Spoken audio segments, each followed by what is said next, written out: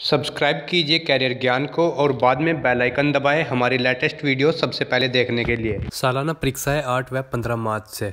Board की senior secondary व वरिष्ठ उपाध्यक्ष परीक्षाएँ आठ मार्च से प्रारंभ होगी। सेकेंडरी और प्रवेशिका परीक्षाएँ पंद्रह मार्च से प्रारंभ होगी। इन परीक्षाओं में लगभग साढ़े उन्नीस लाख परीक्षार्थी बैठेंगे। प्रदेश में आठवीं बोर्ड की परीक्षाएँ भी सेकेंडरी परीक्षा के साथ आयोजित होगी।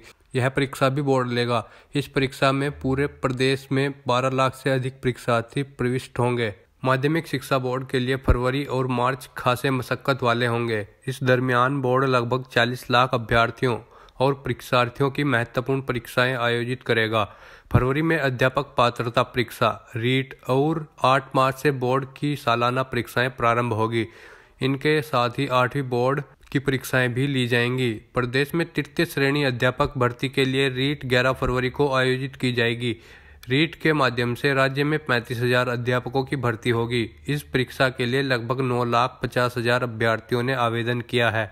कक्षा छः से आठ तक के लिए अध्यापक भर्ती परीक्षा सुबह दस से दोपहर साढ़े बारह बजे तक ली जाएगी, जबकि कक्षा एक से पाँच तक के प्रथम लेवल की परीक्षा इसी दिन दोपहर ढाई बजे से पाँच बजे तक आयोजित होगी। जल्द ही जारी होंगे प्रवेश पत्र। रीट के अभ्यर्थियों के प्रवेश पत्र भी तैयार हो चुके हैं। प्रवेश पत्र अभ्यर्थियों की बोर्ड की वेबसाइट से ऑनलाइन जारी किए जाएँगे।